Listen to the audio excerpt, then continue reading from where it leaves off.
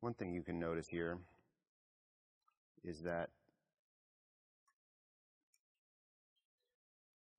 this right-handed spring right here closest to where the tone arm is has to miss the tone arm well and so uh, it's on an angle, a 45 degree, where all the others are parallel with the cabinet. Um,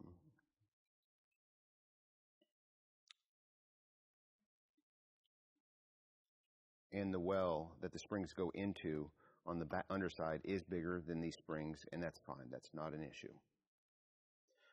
While you're actually at this point and your cabinet's exposed, you can check to make sure your foot posts are not damaged at all. Gabby, can you move that foot post right there or just show? We just wiggle it north, south, east, west right there and make sure that all the foot posts are rock solid. This one, in this case, they are. Sometimes they've taken a hit in shipping and th then you'll either have to tighten up the nut or if they've ripped out of the cabinet, you have to remove it, um, fix the underside, uh, build it up with some sawdust and uh, wood glue, and then re-drill the hole and put in a new foot post. It's actually built, the foot posts are built to fail uh, so that the cabinet never does if it takes a hit. It's kind of a smart design.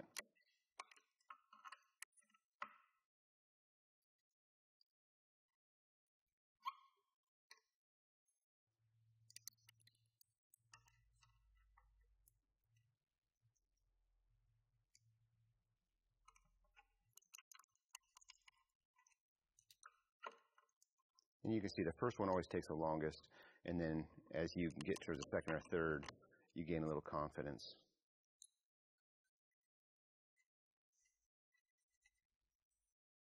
And I would suggest doing this earlier in the day before you've had a beer.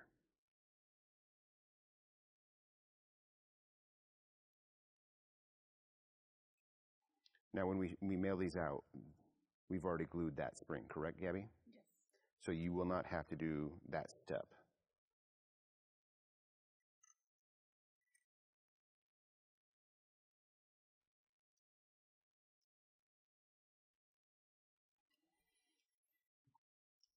And then after the fourth one is done, it's time to reverse all the other steps and put the sub chassis back in and put it together.